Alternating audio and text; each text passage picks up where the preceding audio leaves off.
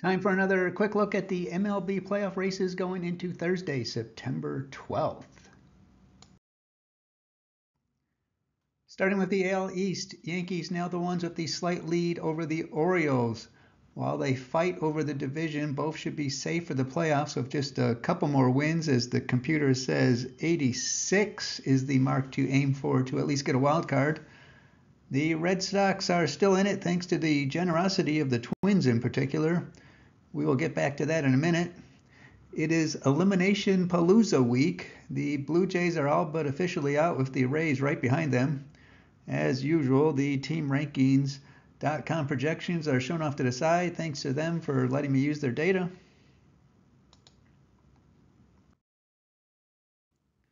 In the AL Central, the Guardians back to a decent lead for the division and another team that just needs to show up at the ballpark a couple more times.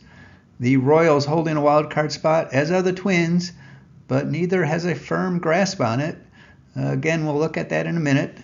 The Tigers are now back in the in contention club, thanks to getting a few above 500 and the Royals and Twins limping along.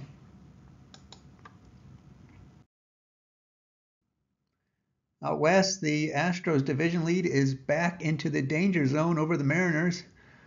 Best guess is that whoever gets to 84 wins will take the division. The Mariners have played good enough to stick around the wild card race. Angels have been eliminated. A's are crossing that line soon. Rangers would need a miracle of all miracles.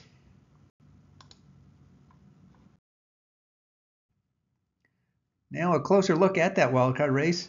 The Orioles obviously in the best shape with their record, and they do own the head-to-head tiebreaker over the Royals, Mariners, and Red Sox. Just need one more win to own it over the Twins too. But the interesting one is they have yet to play the Tigers. They start their first series with them this weekend in Detroit.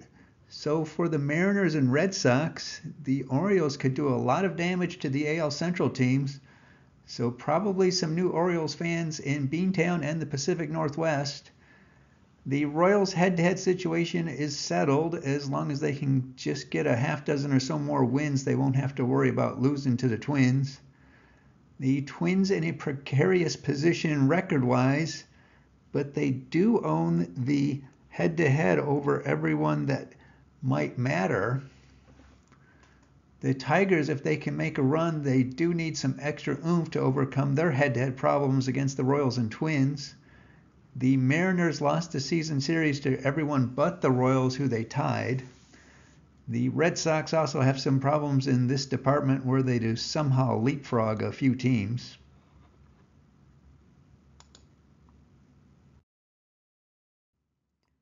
Before we hit the National League, if you want to analyze the playoff race and know what matters for your own fantasy or other league, check out the Playoff Computer app on the Play Store.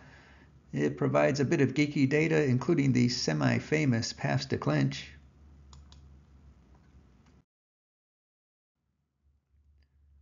For the National League, in the East, the Phillies have hit the 88 win mark to at least get a wild card and will win the division barring a monumental collapse. Mets and Braves in the thick of the wildcard race. More on that in a moment. The Nationals are at the elimination block party going on this week.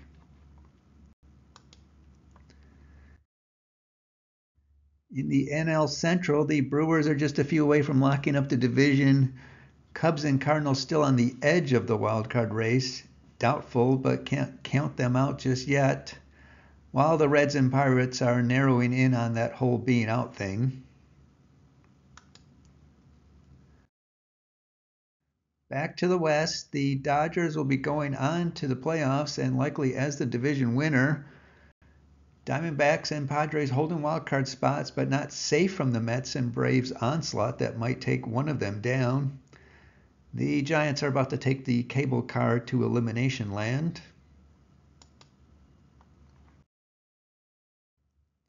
Looking closer at the NL wildcard race, particularly the head-to-head contest, Arizona with the two-game lead in the wildcard race, but they would lose the tiebreaker to both the Mets and the Braves were they to fall. Padres would lose to the Mets but win against the Braves.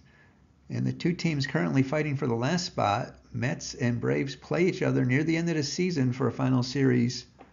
Otherwise, the Mets own the tiebreaker over everyone else. The Cubs not only are five back on paper, but you could almost call that six, as they haven't won the season series against anybody else shown.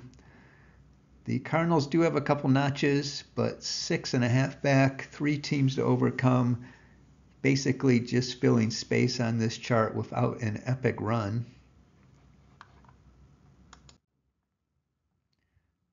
That's it for now. Enjoy your day.